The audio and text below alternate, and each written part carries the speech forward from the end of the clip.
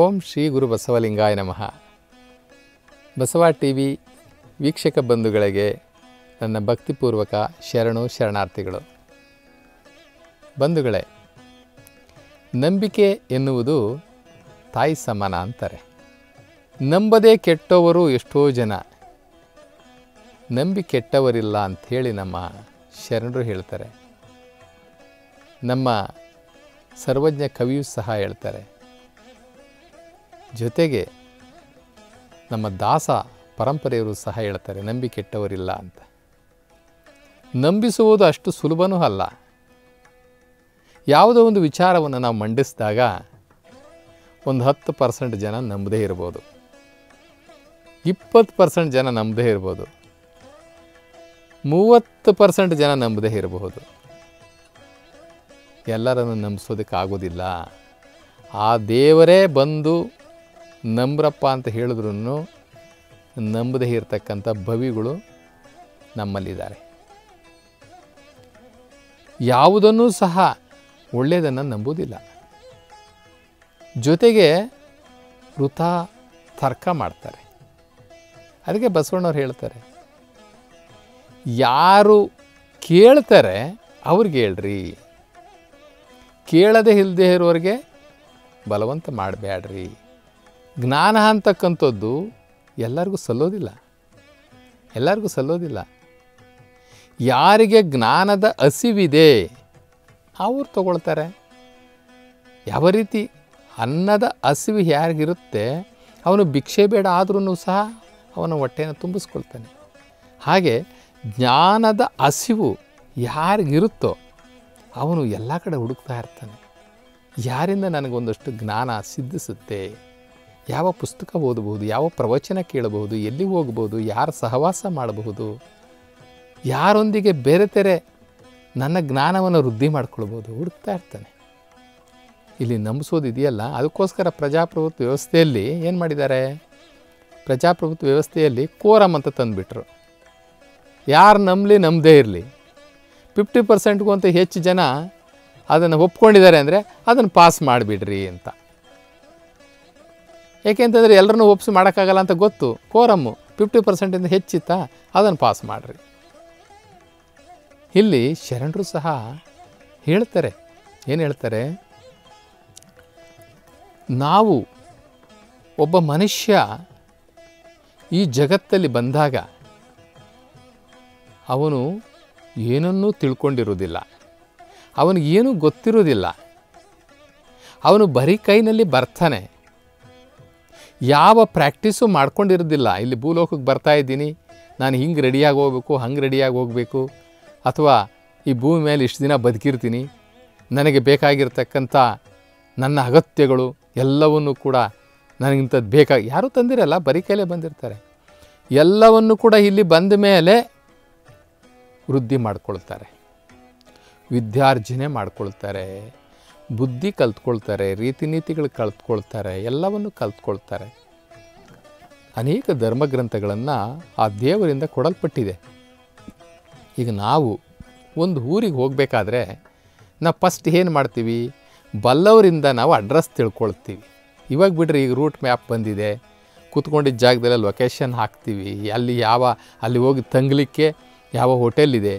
ಅಥವಾ ನಾವು ಹೋಗಿ ಸೇರಲಿಕ್ಕೆ ಯಾವ ರಸ್ತೆಯಿಂದ ಹೋಗಬೇಕು, ಯಾರನ್ನೂ ಕೇಳೋಂಗಿಲ್ಲ. ಲೊಕೇಶನ್ ಹಾಕೊಂಡ್ಬಿಟ್ರೆ ಹೋಗ್ಬಿಡ್ತೀವಿ ನಾವು.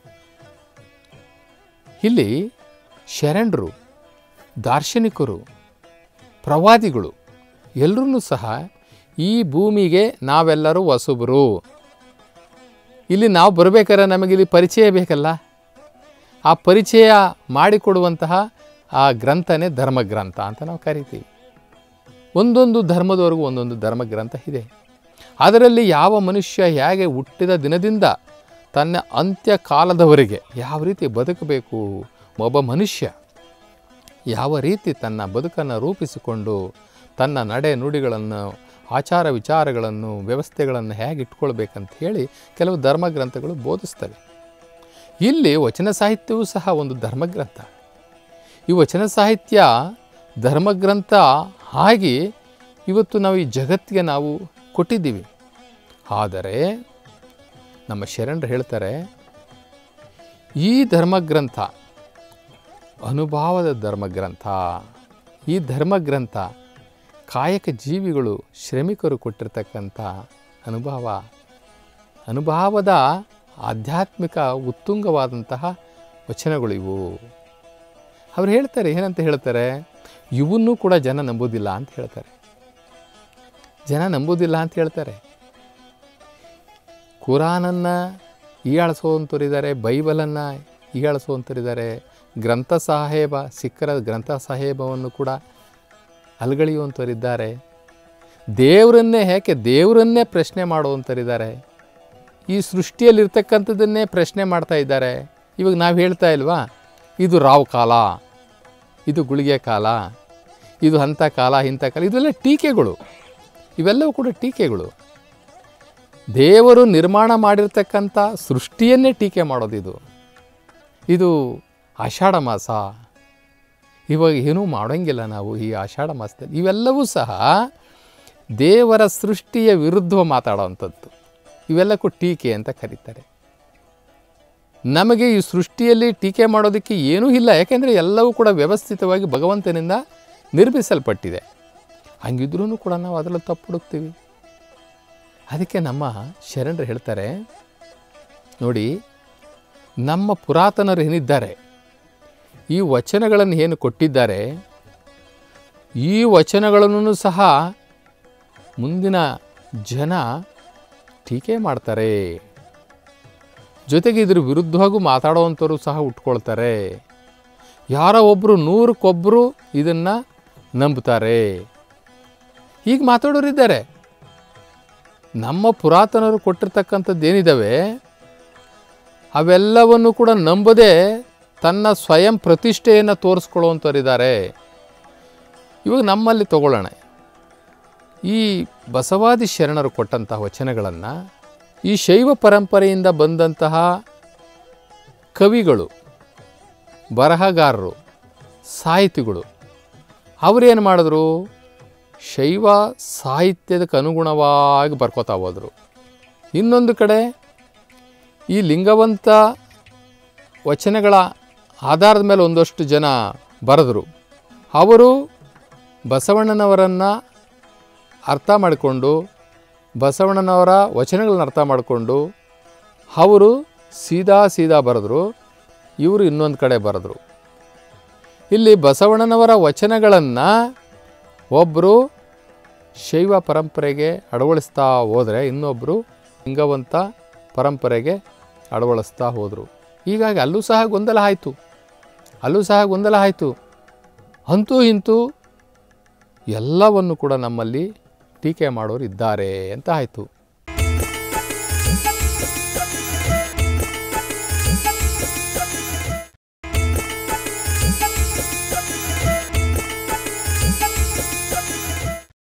ನಮ್ಮ ಆದ್ಯರ ವಚನಗಳು ಎಂಥ ಅಮೂಲ್ಯ.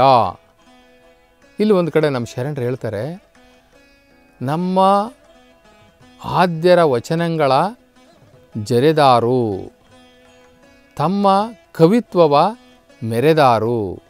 ನಮ್ಮ ಆದ್ಯರ ವಚನ ಒಳದಿರ್ತಕ್ಕಂಥ ಜ್ಞಾನವನ್ನು ಇವರು ಹರಿಯರು ಹರಿಯರು ದೂಷಣೆ ಮಾಡ್ತಾರೆ. ನಂಬೋದಿಲ್ಲ. ಈಗ ಒಂದು ಸಣ್ಣ ಒಂದು ದೃಷ್ಟಾಂತ ತಗೊಳ್ಳೋಣ ಬಸವಣ್ಣನವರು. ಬಿಜ್ಜಳನ ಆಸ್ಥಾನದಲ್ಲಿ ಫೈನಾನ್ಸ್ ಮಿನಿಸ್ಟರ್ ಆಗಿದ್ದರು ಆ ಸಂದರ್ಭದಲ್ಲಿ ಬಿಜ್ಜಳನ ರಾಜ್ಯ ತುಂಬ ಸಂಕಷ್ಟದಲ್ಲಿದ್ದಂತಹ ಒಂದು ಸಂದರ್ಭ. ಅವರಿಗೆ ಅವರ ಆಸ್ಥಾನದಲ್ಲಿ ಒಂದು ಮೋಡಿ ಲಿಪಿ, ಮೋಡಿ ಲಿಪಿಯ ಒಂದು ಓಲೆಗರಿ ಸಿಗುತ್ತೆ. ಅದನ್ನು ಆಸ್ಥಾನದ ಎಲ್ಲ ಪಂಡಿತರು ನೋಡ್ತಾರೆ. ಯಾರ ಕೈಲೂ ಓದ್ಲಿಕ್ಕೆ ಆಗೋದಿಲ್ಲ ಅದು. ಯಾರಿಗೂ ಅರ್ಥ ಆಗೋದಿಲ್ಲ. ಆವಾಗ ಅವ್ರು ತೀರ್ಮಾನ ತಗೊಳ್ತಾರೆ ಇವು ಯಾರ ಕೈಲೂ ಹಾಕ್ತಾ ಇಲ್ಲ. ಇದು ಬಸವಣ್ಣನವ್ರ ಕೈನಲ್ಲಿ ಆಗಬಹುದೇನೋ, ಇದನ್ನು ಓದಲಿಕ್ಕೆ ಅಂತ ಹೇಳಿ ಯಾರೋ ಒಬ್ಬರು ಸಜೆಷನ್ ಕೊಡ್ತಾರೆ. ಸಜೆಷನ್ ಕೊಟ್ಟಾಗ ಏನು ಮಾಡ್ತಾರೆ? ಹನುಮಾನ ಬೀಳ್ತಾರೆ. ಓಹ್ ನಾವು ಯಾರೂ ಓದೋದಕ್ಕೆ ಆಗದೇ ಇರ್ತಕ್ಕಂಥದ್ದನ್ನು ಬಸವಣ್ಣ ಓದ್ಬಿಡ್ತಾರಾ? ಅಂತ ಏನೇನು ಏನು ಮಾಡ್ತಾರೆ? ಬಸವಣ್ಣನ ಅವಮಾನ ಮಾಡ್ತಾರೆ. ಬಸವಣ್ಣನವರು ಬರ್ತಾರೆ. ಬಸವಣ್ಣನವರೇ, ಇದು ಒಂದು ಮೋಡಿ ಲಿಪಿ ಇರತಕ್ಕಂಥ ಓಲೆಗರಿ ಸಿಕ್ಕಿದೆ. ಇದನ್ನು ತಾವೇನಾದ್ರೂ ಓದಬಲ್ಲಿರಾ? ಬಸವಣ್ಣವ್ರ ಕೈ ಕೊಡ್ತಾರೆ. ಬಸವಣ್ಣವ್ರ ಕೈಲಿ ಹಿಡ್ಕೊಳ್ತಾರೆ. ನೋಡ್ತಾರೆ. ನೋಡಿ ಒಂದು ಸಲ, ಮತ್ತೊಂದು ಸಲ ಸಭಿಕರ ಕಡೆ ನೋಡ್ತಾರೆ. ಆವಾಗ ಅಲ್ಲಿ ಕೂತಿದ್ದಂತಹ ಆಸ್ಥಾನ ಪಂಡಿತರೆಲ್ಲ ನೋಡ್ದೇನ್ರಿ? ನಾವು ಹೇಳಲಿಲ್ವಾ? ಆಗಲೇ ಮಖ ಮುಖ ನೋಡ್ತಾ ಇದ್ದಾರೆ. ಬಸವಣ್ಣರ ಕೈನಲ್ಲೂ ಆಗಲಿಲ್ಲ ಅದನ್ನು ಓದಲಿಕ್ಕೆ. ಎಲ್ಲರೂ ಮುಖ ಮುಖ ನೋಡ್ತಾ ಇದ್ದಾರೆ. ನೋಡಿ ಸೈಲೆಂಟಾಗಿ ನಿಂತ್ಕೊಂಡಿದ್ದಾರೆ. ಅಂದರು. ಬಸವಣ್ಣನವರು ಮೌನವನ್ನು ಮುರಿದು ಹೇಳಿದ್ರು. ಇಲ್ಲ, ನಾನು ಓದ್ತೇನೆ ಅಂದರು. ಓದ್ತೇನೆ ಅಂತ ಅಂದಾಗ ಜನಗಳು ಮತ್ತೆ ಅವ್ರಿಗೆ ಹನುಮಾನ ಬಿದ್ದರು ಮೊದಲು ಅವಮಾನ ಮಾಡಿದ್ರು. ನಂತರ ಹನುಮಾನ ಬಿದ್ದರು ಓ, ಇವ್ರು ಓದ್ಬಿಡ್ತಾರಾ? ಹನುಮಾನ. ಇವ್ರು ಓದ್ಬಿಡ್ತಾರಾ? ಆಸ್ಥಾನ ಪಂಡಿತರು ಇಷ್ಟು ಜನ ಇರುವಾಗ ನಾವು ಯಾರು ಓದೋಕ್ಕಾಗದೇ ಇರ್ತಕ್ಕಂಥದ್ದು ಇವ್ರು ಓದ್ಬಿಡ್ತಾರಾ? ಸಭಿಕರ ಮೊದಲುಗೊಂಡು ಅವರನ್ನು ಹನುಮಾನ ದೃಷ್ಟಿನಲ್ಲಿ ನೋಡಿದ್ರು. ಬಸವಣ್ಣವ್ರು ಹೇಳಿದ್ರು, ನಾನು ಓದ್ತೇನೆ, ಆದರೆ ನನಗೆ ಒಂದು ಕನ್ನಡಿ ಸಹಾಯ ಬೇಕು. ಸರಿ, ಕನ್ನಡಿಯನ್ನು ತಗೊಂಡು ಬಂದು ಕೊಟ್ಟರು ಬಸವಣ್ಣನವರು ಆ ಮೋಡಿ ಲಿಪಿಯನ್ನು ಕನ್ನಡಿ ಸಹಾಯದಿಂದ ಓದಿ ಹೇಳಿಬಿಟ್ರು. ಓದಿ ಹೇಳಿದಾಗ ಏನಾಯಿತು? ಬಸವಣ್ಣನವ್ರ ಮೇಲೆ ಸ್ವಲ್ಪ ಅಭಿಮಾನ ಬಂತು. ಸ್ವಲ್ಪ ಅಭಿಮಾನ ಬಂತು. ಹಾಂ ಸರಿ ಅದರಲ್ಲಿ ಏನು ಸಾರಾಂಶ ಇದೆ? ದೊರೆಗಳ ಸಿಂಹಾಸನದ ಕೆಳಗಡೆ ಒಂದು ನಿಧಿ ಇದೆ. ನಿಧಿ ಇದೆ ಅಂತ ಹೇಳಿದ್ರು. ಮತ್ತೆ ಅವರಿಗೆ ಅನುಮಾನ ಬಂತು ಇವ್ರ ಮೇಲೆ. ಓಹೋ ಏನು? ಆಸ್ತಾಂದ ಕೆಳಗಡೆ ಯಾರನ್ನ ನಿಧಿ ಇಟ್ಬಿಟ್ಟಿರ್ತಾರೋ ನಿಧಿ ಇಟ್ಬಿಟ್ಟಿರ್ತಾರೋ ಮತ್ತೆ ಅನುಮಾನ ಮತ್ತೆ ಅದೇ ಅವಮಾನ. ರಾಜರಿಗೆ ನಂಬಿಕೆ ಇತ್ತು. ಬಸವಣ್ಣನವ್ರ ಮೇಲೆ ರಾಜರಿಗೆ ನಂಬಿಕೆ ಇತ್ತು. ಅವ್ರು ಹೇಳಿದ್ರು, ಬಸವಣ್ಣನವರ ಮಾತಿನಂತೆ ಆಗಲಿ ನಮ್ಮ ಸಿಂಹಾಸನವನ್ನು ತೆಗೆದು ಬದಿಗಿಕ್ಕಿ. ಆ ಜಾಗದಲ್ಲಿ ಹಗಿಯಿರಿ. ಆಜ್ಞೆ ಬಂತು. ರಾಜರ ಆಜ್ಞೆಯನ್ನು ರಾಜಭಟ್ರು ಪ್ರಾರಂಭ ಮಾಡಿದ್ರು.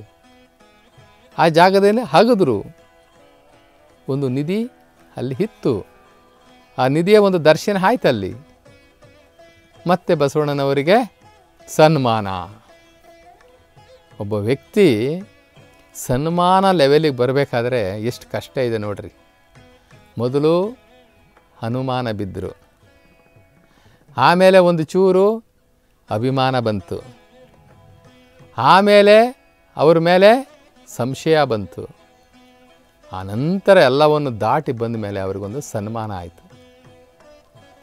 ಆ ಒಂದು ಅವಮಾನ, ಅಭಿಮಾನ ಆ ಸನ್ಮಾನ ಆ ಹನುಮಾನ ಇವೆಲ್ಲವೂ ಇದೆ ನೋಡ್ರಿ. ಇದೇ ಜೀವನ. ಇದೇ ಜೀವನ.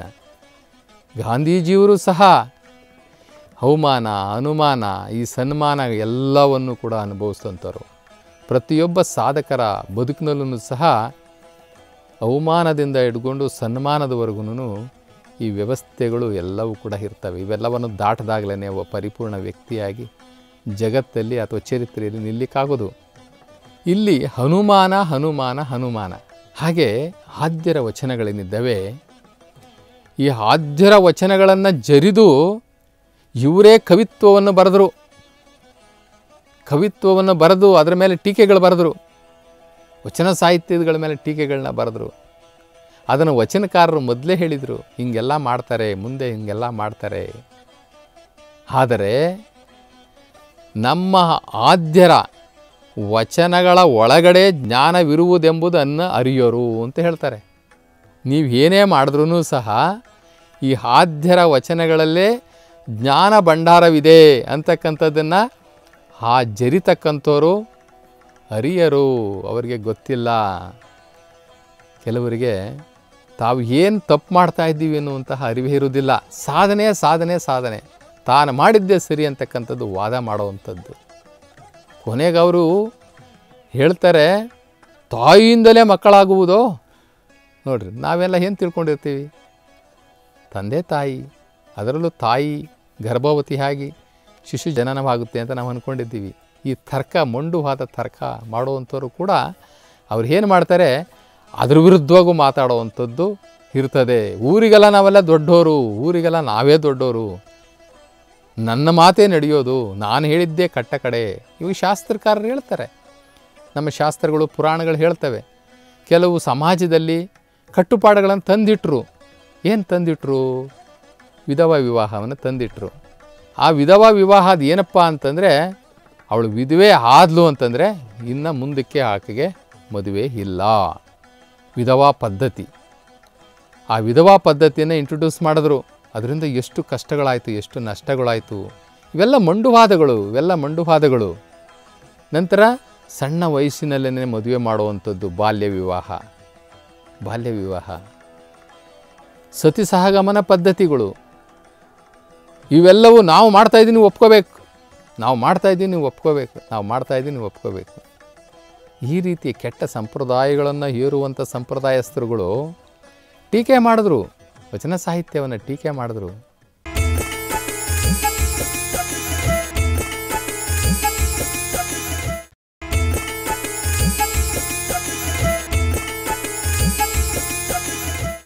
ದೇವದಾಸಿ ಪದ್ಧತಿ ಅದಂತಹ ಘೋರವಾದಂಥದ್ದು. ಈ ಸತಿ ಸಹಗಮನ ಇದೆಯಲ್ಲ ಅದು ಇನ್ನೂ ಘೋರ. ಯುದ್ಧದಲ್ಲಿ ರಾಜ ಸತ್ತೋದ್ರೆ ಆ ರಾಜ ಹೆಂಡತಿ, ರಾಜನ ಹೆಂಡತಿ ಗರ್ಭತಿಯು ಆಗಿದ್ದರೆ ಆ ಮಗು ಮತ್ತೆ ಈ ರಾಜ್ಯ ಆಳ್ತದೆ ಅಂಥೇಳಿ ಹೆಂಡತಿನೂ ಸಹ ಸತಿ ಸಹಗಮನದಲ್ಲಿ ಹಾಕಿ ಸುಟ್ಟು ಬಿಡ್ತಾಯಿದ್ರು ಪ್ರೆಸೆಂಟ್ ಇರ್ತಕ್ಕಂಥವ್ರಿಗೆ ರಾಜ್ಯ ಬೇಕಲ್ಲ, ಆಡಳಿತ ಬೇಕಲ್ಲ, ಅಧಿಕಾರ ಬೇಕಲ್ಲ ಎಂಥ ಕೆಟ್ಟ ಪದ್ಧತಿ ನೋಡ್ರಿ. ಯಾರಾದ್ರೂ ಸತ್ತರೆ ಅವನು ಕೆಟ್ಟ ಶಕುನದಲ್ಲಿ, ಕೆಟ್ಟ ಗಳಿಗೆಯಲ್ಲಿ ಸತ್ತಿದ್ದಾನೆ ಅಂಥೇಳಿ ಅವ್ರ ಮನೆಗಳನ್ನ ಖಾಲಿ ಮಾಡಿಸಿದ್ದಾರೆ. ಅವರು ಮನೆಗಳಿಗೆ ಆ ಬಾಗಿಲಿಗೆ ಗೋಡೆ ಇಕ್ಕಿಸ್ಬಿಡ್ತಾರೆ. ಇಟ್ಟಿಗೆನಲ್ಲಿ ಮಣ್ಣಲ್ಲೇ ಗೋಡೆ ಇಕ್ಕಿಸ್ಬಿಡ್ತಾರೆ. ನಾಲ್ಕು ತಿಂಗಳು ಊರು ಬಿಡಬೇಕು. ಐದು ತಿಂಗಳು ಮನೆಗೆ ಒಳಗಡೆ ಯಾರೂ ಹೋಗಂಗಿಲ್ಲ. ಅಂಥ ಕೆಟ್ಟು ಗಳಿಗೆನಲ್ಲಿ ಮನುಷ್ಯ ಸತ್ತೋಗ್ಬಿಟ್ಟಿದ್ದಾನೆ. ಅದರಿಂದ ಮನೆಯೇ ಬಲವಂತವಾಗಿ ಖಾಲಿ ಮಾಡಿಸೋದು. ಹೇ, ನೋಡಿ ಈ ಸಂಪ್ರದಾಯಗಳೆಲ್ಲ ನೀವು ನಡೆಸ್ಬೇಕು, ನಡಿಬೇಕು. ಈ ಸಂಪ್ರದಾಯಗಳೆಲ್ಲ ನಡೀಲಿಲ್ಲ ಅಂತಂದರೆ ನಾವು ಯಾಕೆ ಇರಬೇಕು? ಇದು ಸತ್ ಸಂಪ್ರದಾಯಗಳು ಇದು ಬಲವಂತವಾಗಿ ಹೀರಿರ್ತಕ್ಕಂಥದ್ದೆಲ್ಲ ಇದೆಯಲ್ಲ? ಈ ಜನಗಳ ಅಮಾಯಕರ ಮೇಲೆ ಮಾಡಿರ್ತಕ್ಕಂಥ ದಬ್ಬಾಳಿಕೆ ಇದೆಯಲ್ಲ? ನಮ್ಮ ಶರಣರು ಇದನ್ನೆಲ್ಲ ವಿರೋಧ ಮಾಡಿದ್ದಾರೆ. ಅವರು ಹೇಳಿದ್ದಾರೆ, ನಾವು ಇಂತಹ ಒಂದು ಗಟ್ಟಿ ಸಾಹಿತ್ಯವನ್ನು, ಇಂಥದ ಸತ್ಯ ಸಾಹಿತ್ಯವನ್ನು, ಇಂತಹ ವಚನಗಳನ್ನು ನಾವು ಕೊಟ್ಟಿದ್ರೂ ಸಹ ನಮ್ಮ ವಚನಗಳನ್ನು ಸಹ ಟೀಕೆ ಮಾಡ್ತಾರೆ. ಆದರೆ ಒಂದು ಮಾತನ್ನು ಹೇಳ್ತಾರೆ ಅವರು, ನಮ್ಮ ಪುರಾತನರ ವಚನವೇ ತಾಯಿ ತಂದೆ ಎಂದು ಅರಿಯದವರವರು ಅಂತ ಹೇಳ್ತಾರೆ. ಇದು ಜ್ಞಾನ ಭಂಡಾರ, ವಚನ ಸಾಹಿತ್ಯ ಅಂತಕ್ಕಂಥದ್ದು ಅತಿ ದೊಡ್ಡ ಜ್ಞಾನ ಭಂಡಾರ. ತೆಗೆದಷ್ಟು ಬರುತ್ತೆ ತೆಗೆದಷ್ಟು ಬರುತ್ತೆ ತೆಗೆದಷ್ಟು ಬರುತ್ತೆ. ಈ ಜ್ಞಾನಕ್ಕೆ ತಂದೆ ತಾಯಿ ಈ ವಚನಗಳು. ಆದ್ಯರ ವಚನ ಜ್ಞಾನದ ನೆಲೆಯ ತೆರೆದಿತ್ತು ಅಂತ ಹೇಳ್ತಾರೆ. ಅದು ದೊಡ್ಡ ನಿಧಿ. ನೀವು ತೆಗಿರಿ, ಅದು ಸಿಗ್ತಾನೆ ಇರ್ತದೆ. ಜ್ಞಾನದ ತಂದೆ ತಾಯಿ ಈ ವಚನ ಸಾಹಿತ್ಯ ಅಂತ ಹೇಳ್ತಾರೆ. ಆದ್ಯರ ವಚನ. ಮದ, ಮಾತ್ಸರ್ಯ, ಅರಿಷಡ್ ವರ್ಗ, ಸಪ್ತ ವ್ಯಸನಗಳು, ಪಂಚೇಂದ್ರಿಯಗಳ ದಶವಾಯುಗಳು ಇವೆಲ್ಲವನ್ನು ಕೂಡ ದಮನ ಮಾಡ್ತವೆ. ಹೇಗೆ? ಹರಿಯುವ ಮನಸ್ಸನ್ನು ಸ್ಪಷ್ಟವಾಗಿ ನಿಲ್ಲಿಸ್ತವೆ. ಸ್ಪಷ್ಟವಾಗಿ ನಿಲ್ಲಿಸ್ತವೆ. ನಮಗೆ ಸಪ್ತ ವ್ಯಸನಗಳು, ಸಪ್ತ ಅಂತಂದರೆ ಏಳು. ಏಳು ಸಪ್ತ ವಸನಗಳು ಆ ವ್ಯಸನಗಳು ಯಾವುದಪ್ಪ ಅಂತಂದರೆ ತನು, ಮನ, ಧನ, ರಾಜ್ಯ, ವಿಶ್ವ, ಉತ್ಸಾಹ, ಸೇವಕ. ಈ ರೀತಿ ಒಬ್ಬ ಮನುಷ್ಯನನ್ನು ಏಳು ಅಂದರೆ ಸಪ್ತ ವ್ಯಸನಗಳು ಕಾಡ್ತಾವಂತೆ. ಈಗ ನಮ್ಮಲ್ಲಿ ತನು ತನು ಎಂತಹ ವಿಕಾರವನ್ನು ಉಂಟು ಮಾಡುತ್ತೆ ಮನ ಯಾವ ರೀತಿ ಮನೋವಿಕಾರ ಉಂಟಾಗುತ್ತೆ? ಧನಕ್ಕೋಸ್ಕರ ನಾವು ಏನೆಲ್ಲ ಕೆಟ್ಟ ನಡೆಯನ್ನು ನಡೀತೀವಿ? ರಾಜ್ಯ ಸಿರಿ ಸಂಪತ್ತು ಬೇಕು ಅಂಥೇಳಿ ವಿಶ್ವದಲ್ಲಿ ನಾನು ಕೀರ್ತಿಶೇಷನಾಗಬೇಕಂಥೇಳಿ ಮತ್ತು ಉತ್ಸಾಹ, ನಿರುತ್ಸಾಹ, ಸೇವಕ, ಮಾಲೀಕ, ಹೀಗೆ ಅನೇಕ ಘಟ್ಟಗಳಲ್ಲಿ ನಾವು ವ್ಯಸನಗಳನ್ನು ಅನುಭವಿಸ್ತೀವಿ. ಮತ್ತು ದಶ ವಾಯುಗಳು, ಹತ್ತು ವಾಯುಗಳು, ಅವು ಯಾವಪ್ಪ ಅಂತಂದರೆ ಧೂಪ ರಾಳ ಚದನ ಖಚೂರ, ಗಾಲ, ನಖ, ತುಂಗಿ, ಗುಗ್ಗಳ, ಘೃತ, ಗಂಧ. ಈ ರೀತಿ ದಶವಾಯುಗಳನ್ನು ಇವೆಲ್ಲವನ್ನು ಕೂಡ ಸಮಗ್ರವಾಗಿ ಮೆಟ್ಟಿ ನಿಂತು ಹರಿಯುವ ಮನಸ್ಸನ್ನು ಸ್ಪಷ್ಟವಾಗಿ ನಿಲ್ಲಿಸಿ ಈ ನಮ್ಮ ಆದ್ಯ ವಚನಗಳು ನಮಗೆ ಸಹಾಯ ಮಾಡ್ತವೆ. ನಮ್ಮ ಆದ್ಯ ವಚನ, ಆದ್ಯರ ವಚನ ಏನಿದ್ದಾವೆ ಅಂಗೇಂದ್ರಿಯಗಳನ್ನು ಲಿಂಗೇಂದ್ರಿಯಗಳನ್ನಾಗಿ ಮಾಡ್ತವೆ. ಈ ನಮ್ಮ ಅಂಗದಲ್ಲಿರ್ತಕ್ಕಂಥ ಅನೇಕ ವಿಕಾರಗಳಿದೆಯಲ್ಲ, ಅಂಗವಿಕಾರಗಳು, ಮನೋವಿಕಾರಗಳು, ಇವೆಲ್ಲವನ್ನು ಸಹ ದೂರ ಮಾಡಿ, ಈ ವ್ಯಸನಗಳನ್ನು ದೂರ ಮಾಡಿ ನಮ್ಮ ಅಂಗದ ಇಂದ್ರಿಯಗಳನ್ನು ಲಿಂಗದ ಇಂದ್ರಿಯಗಳನ್ನಾಗಿ ಮಾಡ್ತವೆ ನಮ್ಮ ವಚನಗಳು, ನಮ್ಮ ಆದ್ಯರ ವಚನಗಳು. ನಮ್ಮ ಆದ್ಯರ ವಚನ ನೂರ ಹನ್ನೊಂದು ಸ್ಥಳವ ಮೀರಿದ ಮಹದಲ್ಲಿ ನೆಲೆಸಿತ್ತು. ಅಂತಹ ಒಂದು ಉತ್ತುಂಗ ಸ್ಥಾನಕ್ಕೆ ನಮ್ಮನ್ನು ತೆಗೆದುಕೊಂಡು ಹೋಗ್ತವೆ. ನಮ್ಮ ಆದ್ಯರ ವಚನ ಇನ್ನೂರ ಹದಿನಾರು ಲಿಂಗಕ್ಕೆ ಸರ್ವೇಂದ್ರಿಯವ ಸತ್ಯವನ್ನು ಮಾಡಿ. ಈ ಸಾಕಾರ ಏನಿದೆಯಲ್ಲ, ಈ ಸಾಕಾರವನ್ನು ಸವೆದು ನಿರಾಕಾರದ ಕಡೆಗೆ ನಮ್ಮನ್ನು ತೆಗೆದುಕೊಂಡು ಹೋಗ್ತವೆ. ಇದು ಈ ಹಾದ್ಯರ ವಚನ ಭಂಡಾರ ಇದೆಯಲ್ಲ? ಇಂತಪ್ಪ ಆದ್ಯರ ವಚನ ಭಂಡಾರ. ನಮ್ಮ ಪ್ರಭುದೇವರು ಮುಖ್ಯವಾಗಿ ಏಳುನೂರ ಎಪ್ಪತ್ತು ಅಮರಗಣಗಳು, ಅಸಂಖ್ಯಾತ ಪುರಾತನರು ಪ್ರಮತರುಗಳು ಕೇಳಿ ಕೇಳಿ ಕೇಳಿ ಕೊಂಡಾಡಿದ ಕಾರಣ ನಮ್ಮ ಕೂಡಲ ಚೆನ್ನ ಸಂಗಯ್ಯನಲ್ಲಿ ಸರ್ವ ಸುಖದಲ್ಲಿ ಸರ್ವ ಸುಖವನ್ನು ಅನುಭವಿಸಿ ಸೂರೆಗೊಂಡು ಸ್ವಯಂ ಲಿಂಗಿಯಾದರು. ಇದನ್ನು ಚನ್ನಬಸವಣ್ಣವರು ಎಷ್ಟು ಚೆನ್ನಾಗಿ ಹೇಳ್ತಾರೆ ನೋಡಿ, ಚನ್ನಬಸವಣ್ಣನವರು. ಈ ಆದ್ಯರ ವಚನವನ್ನು ಅನುಭವಿಸಿದಂಥವರು ಆದ್ಯರ ವಚನದ ಪ್ರಕಾರವಾಗಿ ನಡ್ಕೊಂಡಂಥವರು ಎಂಥ ಕೀರ್ತಿವಂತರಾದರು, ಸ್ವಯಂ ಲಿಂಗಿಗಳಾದರು. ಸ್ವಯಂ ಲಿಂಗಿಗಳಂದರೆ ತಾನೇ ಪರಮಾತ್ಮನಾದರು. ತನ್ನ ಶರೀರದ ಹವಗುಣಗಳನ್ನು ಕಳೆದುಕೊಂಡು.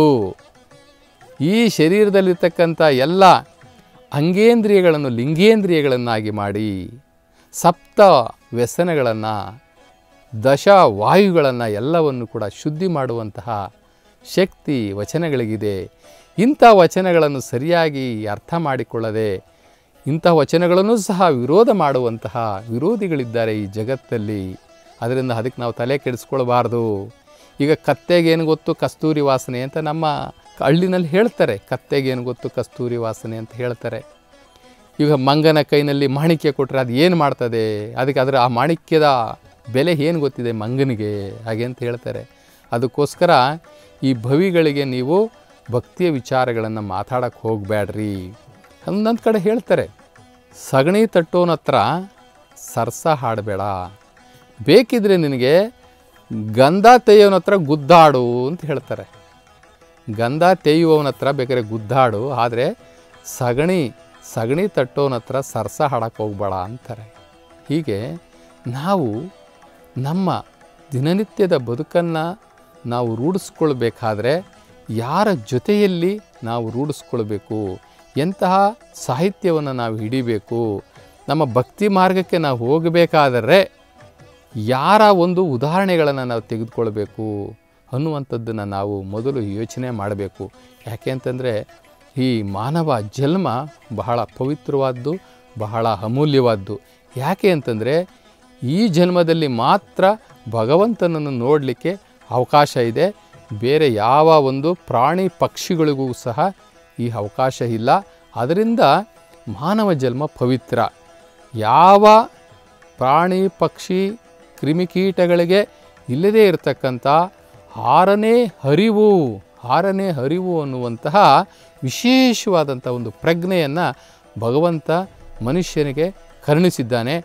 ಅದನ್ನು ನಾವು ಏನಕ್ಕೆ ಉಪಯೋಗಿಸ್ಕೋಬೇಕಪ್ಪ ಅಂತಂದರೆ, ಭಗವಂತನನ್ನು ಸಾಕ್ಷಾತ್ಕಾರ ಮಾಡಿಕೊಳ್ಳಲು, ಅವನನ್ನು ಅರಿಯಲು, ಅವನನ್ನು ಅನುಭವಿಸಲು ಅವನನ್ನು ಅನುಭವಿಸಲು ನಾವು ಉಪಯೋಗಿಸ್ಕೊಳ್ಬೇಕಾಗಿದೆ ಅಂತ ಹೇಳ್ತಾ ತಮ್ಮೆಲ್ಲ ಬಸವ ಟಿ ವಿಯ ವೀಕ್ಷಕರಿಗೆ ಶರಣು ಶರಣಾರ್ಥಿಗಳನ್ನು ಸಮರ್ಪಿಸುತ್ತಿದ್ದೇನೆ. ಶರಣು ಶರಣಾರ್ಥಿ